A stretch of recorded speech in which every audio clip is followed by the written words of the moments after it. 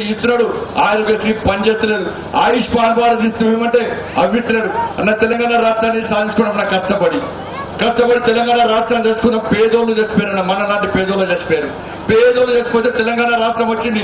కేసీఆర్ మీద కేసు లేవు. కేసీఆర్ బిడ్డ మీద కేసు లేదు కేసీఆర్ కొడుకు మీద కేసు లేదు కేసీఆర్ అల్లు మీద కేసు లేదు వాళ్ళు లాఠీ దెబ్బ తిల్లే పెట్రోల్ పోసుకున్నారు అగ్గిపెట్ట దొరకలే. కానీ శ్రీకాంతాచారి పెట్రోల్ పోసుకున్నారు అగ్గిపెట్ట దొరికింది చచ్చిపోయాడు. సుమన్ రైలు మీద చచ్చిపోయాడు. పోలీస్ కిచ్చయ్య రివాల్వర్ పెట్టి చచ్చిపోయాడు. నిశాంత్ రెడ్డి చచ్చిపోయాడు. వీళ్ళందరూ పేదోళ్ళు చచ్చిపోతే తెలంగాణ రాష్ట్రం వచ్చింది. రాష్ట్రం వచ్చిన తర్వాత ఇలా పెద్దోళ్ళు రాజ్యం ఎత్తున్నాడు.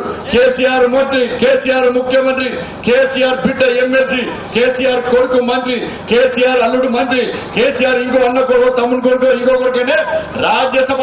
కేసీఆర్ ఇంట్లో ఈ ఉద్యోగాలు నెలకు ఒక్కొక్కరికి ఐదు లక్షల రూపాయలు. కానీ తెలంగాణ రాష్ట్రంలో యువకులకు ఉద్యోగాలు రావు. జీతాలు ఇచ్చే పరిస్థితులు ఉద్యోగులకు ఉపాధ్యాయులకు ఎంప్లాయీస్ ఎవరికి జీతాలు ఇస్తున్నారు ఉద్యోగులు ఇవ్వమంటే ఫీల్డ్ లెసన్ తొలగించాడు. విద్యా వాలంటీర్ తొలగించిండు. నేను మిషన్ భగీరథం తొలగించిండు.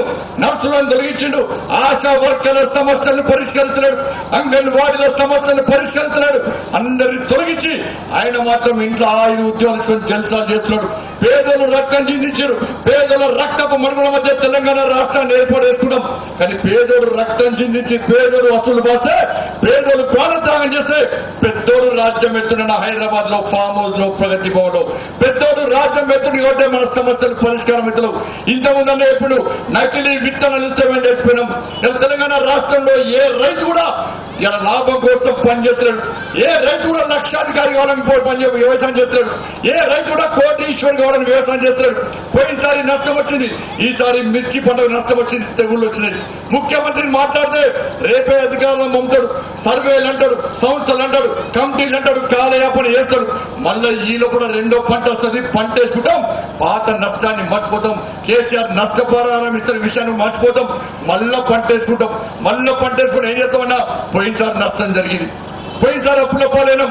కనీసం పోయినసారి నష్టాన్ని పూరించుకుందామని చెప్పి మాత్రమే రైతు వ్యవసాయం చేస్తుంది తప్ప తెలంగాణ రాష్ట్రంలో ఏ రైతు ఇలా లక్షాధికారి కావాలని వ్యవసాయం చేస్తాడన్నా నష్టాల వ్యవసాయం చేస్తున్నాడన్న నష్టపైన వ్యవసాయం నమ్ముకున్నాడు కాబట్టి అందరికీ ఇంత భూ పెట్టాలి కాబట్టి వ్యవసాయం నమ్ముకొని రైతు వ్యవసాయం చేస్తుంది తప్ప మన లాభాల కోసం లక్షాధికారి వాళ్ళని చెప్పి ఏ రైతు వ్యవసాయం చేయలేని పరిస్థితి తెలంగాణ రాష్ట్రం అందుకే రైతులు ఆత్మహత్య చేసుకుంటారు.